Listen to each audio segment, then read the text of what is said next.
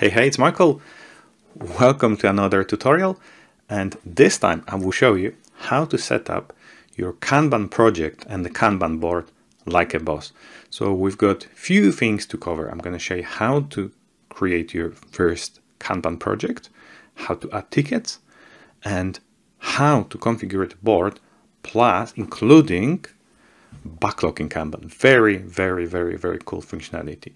And of course, I'm going to use again a Jira Cloud with a free version. So you don't need to pay for that at all. By the way, this is part, this video is part of my training course. So if you're looking for help, you're going to find the you're going to find more, more details in the description. And please consider subscribing to my channel. All right. So as I told you, I will be using again Jira Cloud free version. So where are projects? Projects, of course, are located on the top menu under the project. So how to create a Kanban project super fast? Obviously, from the top, we go to create projects, select Kanban, use a template, and at the moment, Jira is Jira Cloud is offering two types. This time, we're going to cover the company manage. But however, if you want to use the team manage, which is actually the next gen, it's fine. But we're not gonna we're gonna, we're not gonna talk about this right here, and they are very very different. So please make sure if you follow my steps, you're gonna use this actually right hand side, uh, like a basically um, company managed templates. Yeah, so we're gonna go for this. I'm gonna call it Kanban MDK. I think it is absolutely fine. Uh, and we go for create project. There you go. All right, so the good news is by default, everything is pretty much okay. However, we need to add few adjustments. So of course, you know, as you probably know, on the left-hand side, we've got our menu designated to the project and the meatballs, which is located under the Kanban board, is going to be our settings for the board. And I'm going to give you my basically like a like a default setup, which probably is going to work for most of companies. How to do it? So what so what we're going to start the first one. So we, you know you can think maybe it is silly, but I will start from uh, actually going to the settings go to details and I would change the project icon. I know, I know it is maybe for you pointless, but believe me, if you're gonna have a lot of projects, it is important because why? By default, I think they're gonna they're gonna go like with random um, uh, icons. here. so I'm gonna do it. Save details.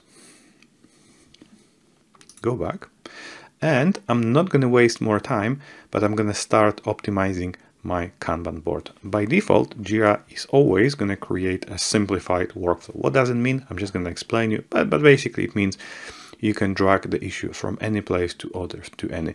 So hold on, let's do it because maybe it's a good practice to have a few tickets before we actually start creating our board. So to do that, let's navigate to create. And by default, of course, we've got um, the issue types, which has been assigned to the project is only five of them. So it's a story task, bug, epic, plus sub task. Yeah, every, of course, every issue type. In our case, you can actually use subtask. Yeah, so I'm gonna go for story and go for like demo story one. Copy that in the description. We don't really need that much, and because I need actually a few more tickets, I'm gonna hit create another. Yep. And I'm going to go for a 2. More demo text. Hit create. And maybe this time I'm going to go for a bug. Yeah.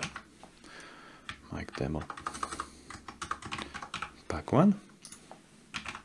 Some text and I'm gonna leave it because there is another way how to how you can create tickets. Yeah, you just go to create, and what is gonna happen every time when we're creating issues, they're going to land in a backlog, but we're going to change it in a second because I would like to show you how to add that another element which, which is going to be the backlog for our Kanban. But let's leave it for, for a second.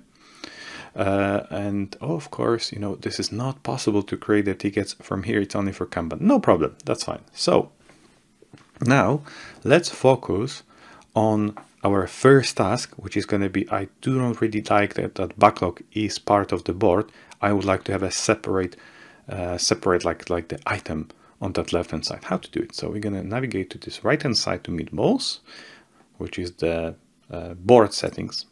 We go to board settings. We navigate to second one, which is columns. And what we're going to do, we're going to drag to the Kanban backlog. And because this one is redundant right now, there is there is no point to have two, I'm going to delete backlog. Right. So let's see how it works. And believe me, this is going to be also cool stuff because we will be able to create tickets from backlog. So let's do it. Let's go back to board.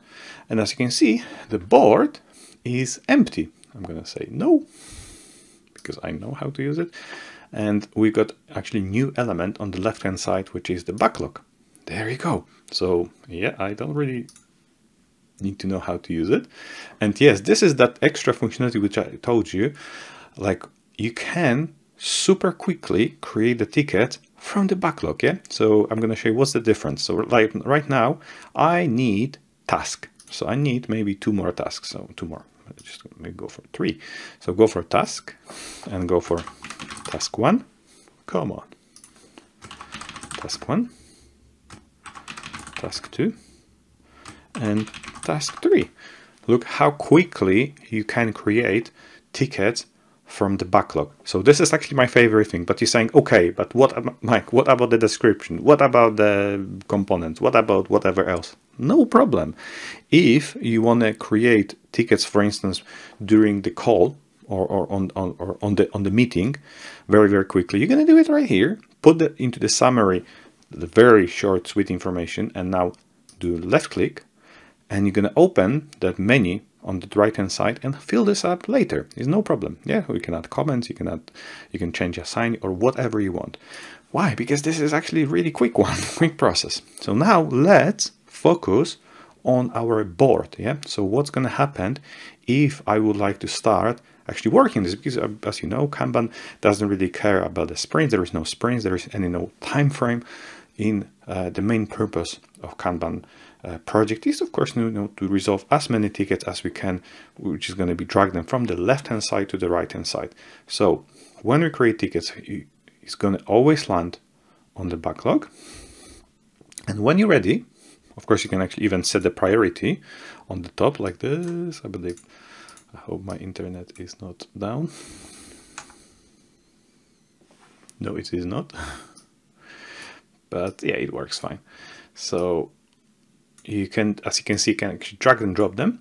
And when you're ready, you can move them to the first column because this actually, this section over, over, over here, which is select for development, is the first part of the Kanban board. Look at this. I'm going to move them over here. And if I'm going to move now to Kanban board, you're going to see this ticket start appearing to my first column. Yeah, so this is clear.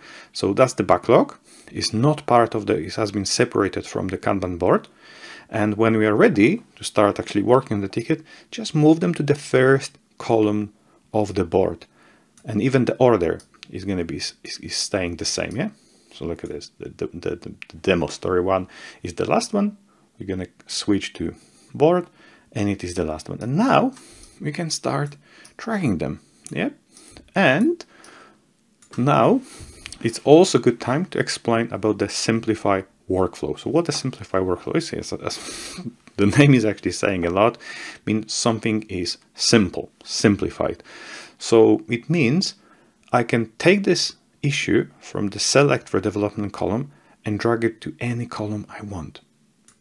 And yes, this is how by default it's supposed to work. And I don't really understand why there is so much hate towards simplify workflow they work great, especially for Kanban. But of course, in the next uh, few tutorials ahead, I will be showing you how to convert it from, from non-simplified workflow, from simplified to non-simplified, So we're going to have extra actually fun with the workflow. Yeah, but I'm not going to go into super details. However, if we're talking about the simplified workflow, I'm going to show you how to very quickly add additional status to my board. And we're going to focus on status called blocked. Yeah, let's do it. So we go into the board settings. There we go. Columns, make sure it's columns. And we have to absolutely make sure that we've got actually those two buttons enabled. Uh, I'm using free version, so there is no way about no way to actually set the permissions. However, if you are using paid version, and for instance, uh, add status or add column, I think this add status is grayed out, it means you probably do not have permission to do that. So, you know, the best way is to get your very own Jira. All right, so let's add status called blocked. There you go.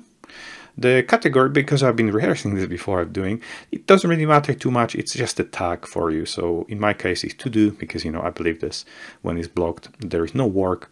So that's why the category is uh, to do. And I'm going to hit add. And but something interesting happens. Jira done like extra work for you. So Jira added that column, but additionally, automatically, if the status score doesn't exist, was added as well. So look at this now, you've got it. And if you're not happy, maybe you only, I don't know, like some people, sometimes I've seen this Uh, use blocked at the top or sometimes the last one, but I think like just before the done is absolutely fine. So let's see how it works. So I'm to go back, hit that back part. And yeah, there is one issue. As you can see, I cannot move my tasks to block, like something is broken. And yes, I believe it is a bug. How to fix it? Super simple. Refresh the page. When you refresh the page, it will work. And look at this. And now we can move our issues freely. So now you know how to start your Kanban, how to add first tickets to Kanban, and also how to modify your Kanban board. And very soon, the new video is coming. I'm going to talk about a little bit more advanced stuff. I'm going to show you how to optimize that board. So we're gonna have we're gonna have a conversation. I'm gonna show you how to add um, card colors, how to use quick filters, and also how to use swim lanes. So please subscribe to my channel so you know the new videos coming soon. Thank you very much. And of course, if you've got any questions, let me know in the comments. Thank you very much.